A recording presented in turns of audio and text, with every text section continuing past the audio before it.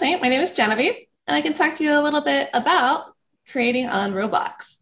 So, the first thing I want to ask, and I have a bunch of stuff behind, so just you guys know, is what is Roblox? And I want you guys, uh, my little classroom here, to answer this for me. Who's got an answer? Like, say, what is Roblox in your opinion?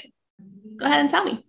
Oh, um, Roblox is a game where there's like characters and there's going to be like hobbies and fun things to do. And um, kids, they can always add more games into Roblox. So it's a it's a so it's a good place for gamers and for coders. All right. Anyone want to add something to that? Yes, I want to do. Uh, Roblox is just like Minecraft, but it is way more better. Means I like it more than Minecraft. Well, we appreciate that. I also like Minecraft. You know, you can like multiple yes. different, you know, 3D experiences. But I uh, most likely right uh, like Roblox. Oh, thank you. Okay, and Ria. Um, so I think that it's like kind of a platform where people can also make games. They don't have to just play them. You can also make games. Um, and it also has like a lot of stuff that a lot of games don't like. You can add friends and chat and stuff. Yeah. So all of these things that you guys have said really are what Roblox is and more. So Roblox is a global platform, meaning it's all across the world. And every day people are coming together and they're like going to imagine, you know, they're going to like role play and they're going to take on different characters. They're going to create, they can share their own experiences and they can share those experiences out with their friends. So we saw a Roblox game earlier. So you, you know, whoever made that, they can actually just share it and like anyone in the world can play it. And that's just such a cool thing. So here, this is a bunch of different instances of Roblox Studio. So these are some of the worlds that I've worked on or um, some of my friends have worked on. So like this is one you guys might be familiar with. So me and a team of just like a couple of people really, we worked on this together all at the same time. You know, and we had an artist who made us the assets. We had our friend Laker who helped like make the code. Uh, you know, and then I actually got to build the environment and everything like that. So that's one type of game. So we have another one or this, this is a library. So I kind of want to show you guys like there's lots of different, you know, worlds that you can build. So this is a nice quiet library you can come in.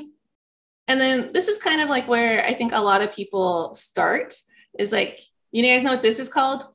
Want to tell me what like what type of game is this? Obby. Yeah, it's an obby. So a lot of times this is the first world a person will make. This is actually my very very first Roblox world that I ever made. Like this is it. It's not very impressive. Every single person in this phone call or on Zoom here can make this. You guys can do better than this. Like you, your games, like you guys are looking like I'm not impressed. This is yeah. You know, was your game better than this? I you know, so. my first game was also Obby. Yeah. So it's a great place to start because you can kind of just learn about working with 3D shapes. You learn how to work in a 3D world. And that's something that lots of different programs have you do. Like maybe if you want to be an architect, you got to start looking about, you know, working in 3D space, or if you want to make movies or something like that, or be an animator. But this is a very common place for people to start. And I'm actually going to show a little bit about how that's done.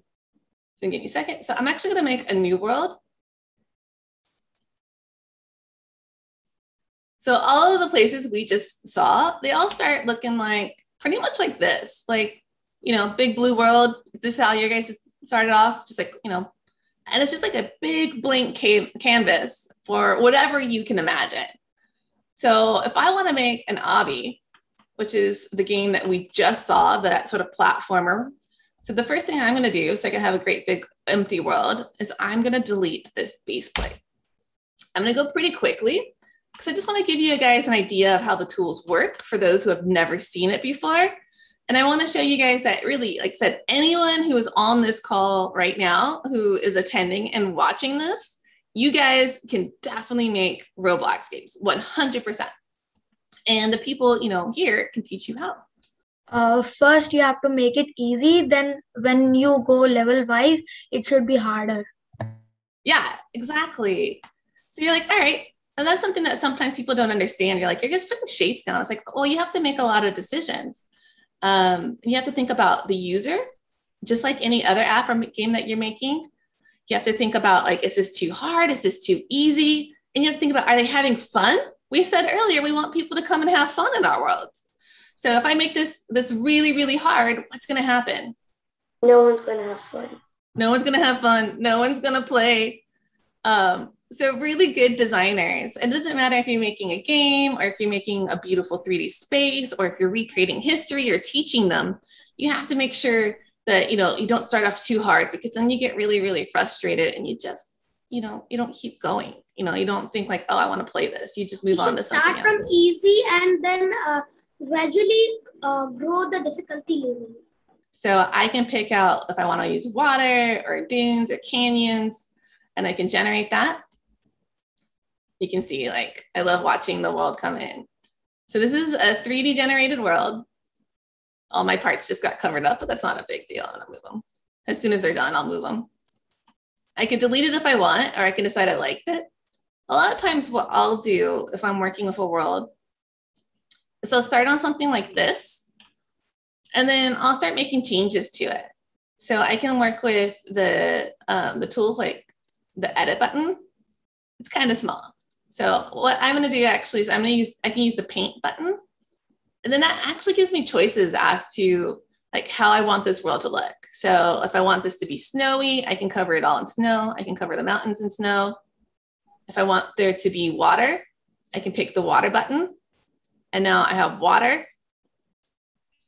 I can add terrain. I can make new mountains if I want to. So I've got new hills. And I can test this out too. My world. So now I can go swimming in it. And I have a brand new world.